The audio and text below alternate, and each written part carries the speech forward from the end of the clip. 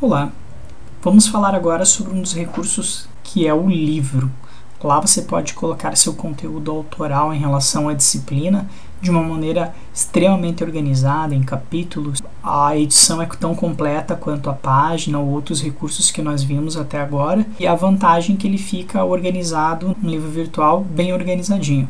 Vamos dar uma olhada como é que a gente coloca um livro. Então eu vou lá em ativar edição, vou no tópico desejado, vamos continuar naquele que nós estávamos trabalhando, adicionar uma atividade ou recurso. E lá eu vou pegar o livro.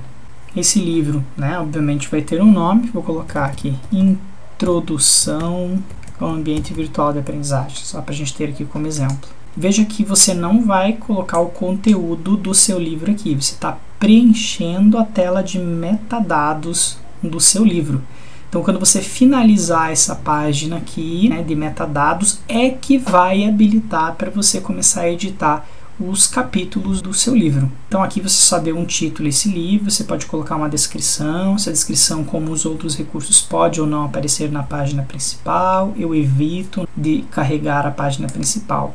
Em termos de aparência, ele vai perguntar para você como é que vai ser a formatação dos capítulos. Eu gosto do nada, mas tem gente que gosta, tem número 1, 2, 3, bolinha, ou outras. O estilo da navegação, que é o que você vai acabar é, trabalhando no finalzinho da, da tua página, se vai ser imagem, se vai ser texto, como é que ele vai ser ok? De fundamental aqui no livro é isso. Eu vou trocar aqui para o nada, tá, pessoal? Que eu gosto de dar os meus títulos ali sem ficar preso a 1, 1.1, 1.2. Mas aí vai do, de acordo com o que você gosta de trabalhar. Veja, eu não, de novo, ó, não é aqui que eu escrevo o conteúdo do livro, tá? Não é aqui. Cliquei, salvar. Posso já, se eu clicar em salvar e voltar ao curso, eu volto para aquela página inicial do curso. Se eu clicar salvar e mostrar, ele já vai entrar na edição do livro. Eu quero, vou usar esta opção aqui. O ícone do livro apareceu aqui. Eu quero editar meu livro. Eu vou clicar sobre ele e ele já vai abrir a parte para eu adicionar um capítulo. Aí eu vou chamar isso aqui, por exemplo, de introdução. Aqui eu vou colocar então o meu texto imagens, vídeos incorporados, links. Aqui você pode abusar da criatividade. Vou colocar aqui, salvar as mudanças. Ah, eu quero agora mais um capítulo. Eu venho aqui do ladinho e clico no mais aqui. Desenvolvimento. E venho aqui e faço então esse desenvolvimento.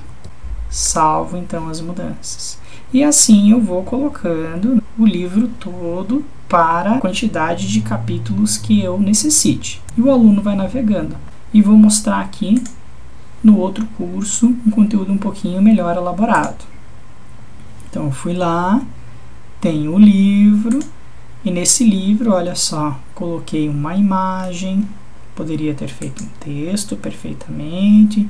No capítulo 2 aqui, eu coloquei um vídeo eu posso colocar texto e não tem limite, eu posso trabalhar com tabela, eu posso trabalhar com alinhamentos, como um livro. Tudo que você tem para produzir um livro em outros meios, você vai ter como produzir um livro aqui no Moodle. Perfeito? E você pode fazer essa edição a qualquer tempo. Se quer acrescentar alguma coisa, eu venho em ativar edição, clicando diretamente no livro, posso editar o conteúdo. Então, novamente, se eu quero editar os metadados do livro, eu venho aqui. Se eu quero editar o livro propriamente dito, eu clico sobre ele. Posso adicionar tópicos, posso trocar a ordem deles e eu posso ocultar enquanto eu estou trabalhando, o aluno não vai ver aquele capítulo ainda e posso adicionar mais capítulos. Então, usem e abusem do recurso livro para expor conteúdo é um dos melhores recursos disponíveis no Moodle.